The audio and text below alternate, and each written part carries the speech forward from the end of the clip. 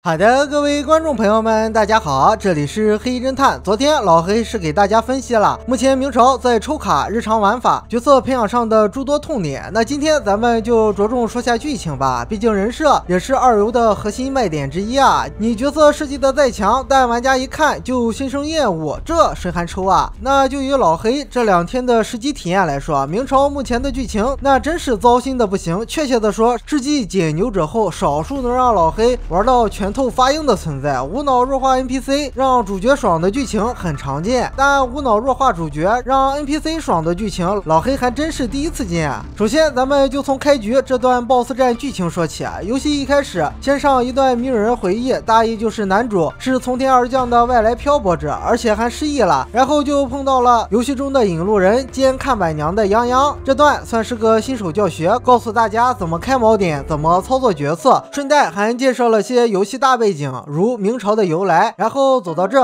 啪，一个鸟瞰大镜头，把新手主城给大家展示一番。玩到这，其实还没什么大问题啊，主要是下面这段，男主和泱泱成功与侦察小队的两位队友会合，然后 BOSS 无关者出来搅局，一番炫酷的打斗后，泱泱率先白给，留下一句“大家快快跑”，后昏迷不醒，然后男主开始暴种，与 BOSS 激战一番后，成功英雄救美，然后库洛接下来的剧情就。开始抽象了。那两位全程都在打酱油的队友上来就拿把枪指着男主的头，说道：“你别动，你是什么人？对我们有何企图？不是吧，大姐？也可是刚刚救了你们，是你们的大恩人啊！就算不顶礼膜拜，以身相许，最起码也要表达下尊重吧？哪怕就说句谢谢也好啊！这上来就用枪威胁人，是要闹哪样？合着好人就应该被人用枪指着？要知道这两位大姐可是大家能最早玩到的御三家啊！”类似安博、丽莎、凯亚、库洛，你就这么搞？一开始就让御三家与主角对立，接着还高高在上的发号施令，命令男主将泱泱带回城，并当面表示我们不信你，回去就把你调查个清清楚楚。What the fuck？这是什么逆天剧情啊？男主就一纯纯的工具人是吧？同样是开局的御三家，看看人家隔壁老米是怎么设计的。要知道旅行者那也是外来的异乡人啊，安博还不是照样嘘寒问暖，一上来就关心主角有没有受。受伤也没说一开局就拿弓指着旅行者的头吧。后面的丽莎也是一口一个小可爱的叫着。凯子哥凯亚虽然有所怀疑，但也是暗地里调查，明面上也是很和蔼可亲。事情明朗后，马上就跟男主成了好兄弟，真是没有对比就没有伤害啊。接着是进城后的剧情，基本上就是所有人都不待见男主，事务长随便安排了个赤霞上面的御三家女队友带男主熟悉下主城。本来吧，这段也是新手教程，就是给大家介绍下商店。合成台以及工作台的玩法，可是这个引路人赤霞满脸的不耐烦，表示男主是什么东西，我只关心泱泱，赶紧的吧，看完赶紧滚蛋。玩到这，老黑的拳头真是不自觉的又紧了一点。然后再说下伞华这个角色，老黑是在剧情前抽到的，冰属性外加单手剑，帅气的攻击动作，丝滑的操作手感，再配上这剑魔，老黑真是一眼就爱了。前期基本都用它来开荒，没想到这剧情又来了个当头棒喝，玩。到第三章，你就会发现，这伞华其实是新手城城主的得力助手兼贴身保镖。为方便理解，大家可以脑补成宁光和克勤的关系啊。虽然这老姐一开始对主角也抱有敌意，但老黑也能理解，保镖嘛，对陌生人有一定的警戒也算正常。可当老黑在拯救完城主、击败反派 BOSS 后，这伞华莫名其妙的开始暴走。老娘就是不相信你，怎么这么巧？你怎么每次危机都能恰巧出现？你接近城主到底有何企图？这些是不是你计划的一部分？然后唰，一把刀又架在男主的脖子上。我的 fuck？这又是什么逆天展开？老黑这是看麻了呀！这就好比爷打败了魔神，拯救了璃月后，克勤马上一把刀架在男主脖子上，质问旅行者说：“你接近凝光究竟有什么企图？你是不是愚人众派来的奸细？库洛大哥，哎，这是二次元手游，你卖的是角色，是人设，是老婆，就这么把主角不当人？散滑！老黑恨不得当场一刀给你劈了。”例会建模全被这脑瘫剧情给毁了，真是白瞎这升级素材了。你赶紧到仓库里雪藏吃灰去吧。再玩你老黑就是狗。篇幅有限，类似的剧情其实游戏中还有不少。你说就这全员 NPC，除了看板娘泱泱，大部分都跟主角搞对立。要知道，游戏是拿来娱乐的，是拿来养老婆老公的，可不是拿来受气的呀。那不知道各位老哥看完了以上剧情后，你们的看法是什么呢？欢迎一起来讨论哈。那好的，视频制作。不易，还望各位大佬点赞三连。咱们有缘下期再见，拜拜。